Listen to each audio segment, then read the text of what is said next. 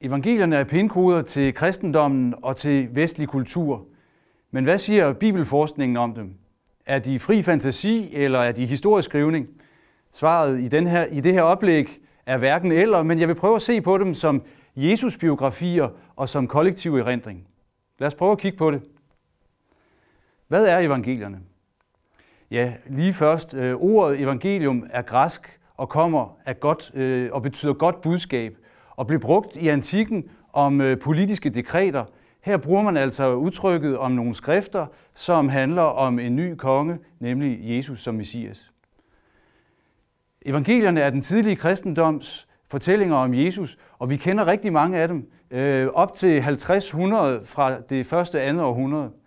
Men de, øh, nogle af de tidligste er kommet med i det nye testamente, og det er dem, vi har her, nemlig Matteus evangeliet, Markus evangeliet, Lukas evangeliet og Johannes evangeliet.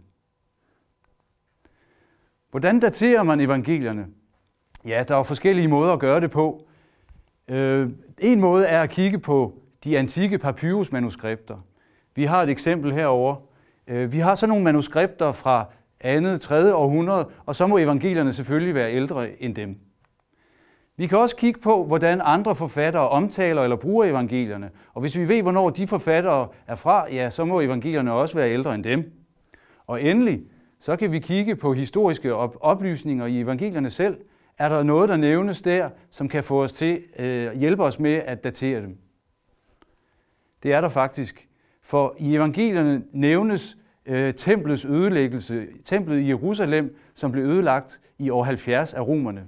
Det var det store 9-11 for øh, antik jødedom. Øh, og øh, den der øh, begivenhed nævnes i evangelierne. Øh, så muligvis er evangelierne altså skrevet efter år 70. Prøv at se, hvad Jesus siger i Markus evangeliet.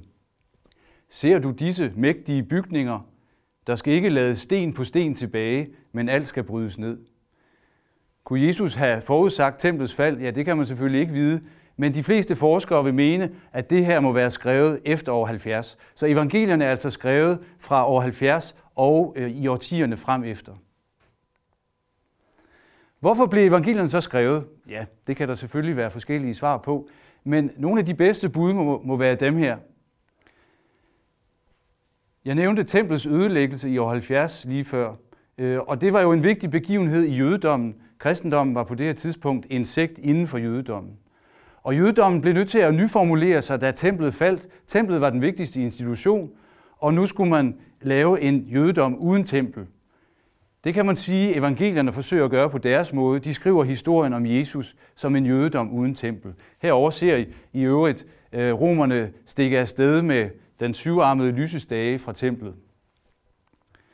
En anden faktor bag evangeliernes tilblivelse er det, vi kalder generationsskifte-problematikken omkring år 70.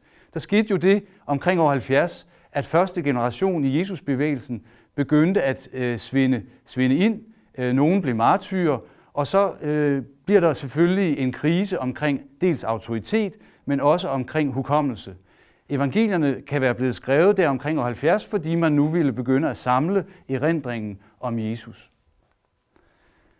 Så taler vi også om det, vi kalder parousiudblivelsen. Parousi det er græsk og betyder nærvær eller genkomst. Det handler om, at i den allertidligste kristendom regner man med, at Jesus vil komme tilbage i første generation. Men det gør han jo ikke, viser det sig. Og da første generation begynder at blive gamle, omkring år 70, ja, så øh, begynder man at stille sig spørgsmålet, hvorfor kom Jesus ikke igen? Det er der andre bevægelser, der har gjort siden. Hvorfor blev dommedag ikke sådan den, på den dato, som vi troede? Evangelierne bearbejder også det her spørgsmål. Endelig kan, kan det nævnes, at Kristusbevægelsen vokser meget i disse år, og vi begynder at få ikke-jødiske medlemmer, så man begynder måske at skrive evangelier for at skabe en sammenhængskraft i den her bevægelse, som nu er spredt ud over store dele af Middelhavsområdet. Hvem skrev så evangelierne? Ja, vi plejer at tale om Matthæus med englen, Markus med løven, Lukas med oksen og Johannes med ørnen. Det er alle sammen navne fra første generation øh, i Kristusbevægelsen. Men øh, disse navne til evangelierne er først kommet til i det andet århundrede. Øh, evangelierne selv er anonyme skrifter. Vi ved ikke, hvem der har skrevet dem, og der står ikke noget om det i selve evangelierne. Men vi kan vide, at de ikke er skrevet af øjenvidner, og Lukas herover, han skriver det selv i sin indledning, at han ikke er øjenvidne, men har modtaget øh, overleveringer om Jesus fra andre. Vi betragter øh, evangelierne som en form for kollektiv erindring i den tidlige kristendom. Altså man samler erindringer om Jesus, og vi har jo et stort, øh, et stort mellemrum her, kan vi sige, fra år 30 efter Kristus, hvor Jesus virker og dør, og så år 70 øh, og frem efter, hvor evangelierne nedskrives. Og hvad sker der i mellemtiden der? Det kunne jo være interessant at vide, for at vide noget om evangeliernes tilblivelse. Ja, vi har Paulus' breve i mellemtiden, og øh, evangelierne om Jesus er altså ikke de ældste skrifter, vi har i det nye testamente. Men lad os lige tage Paulus væk. Det, som sker i den tidlige kristendom, må være en eller anden form for øh, kollektiv erindringsproces, i første omgang mundtlig, men sikkert sekundært også i en skriftlig form. Og kollektive erindringsprocesser, det ved vi fra øh, moderne studier, handler i lige så høj grad øh, som øh, handler dels om at erindre øh, overleveringer om øh, fortidens store personer, men det handler også om nutidig identitet. Evangelierne ligner utrolig meget hinanden. De følger et bestemt forløb, øh, og især tre af dem, som vi kalder de synoptiske evangelier. Og det har altså ikke noget at gøre med den der brillekæde. Det handler om, at øh, synoptik betyder, at man kan se på dem, stille dem op ved siden af hinanden og se på dem samtidig. Det, øh, de synoptiske evangelier er Markus, Matthæus og Lukas.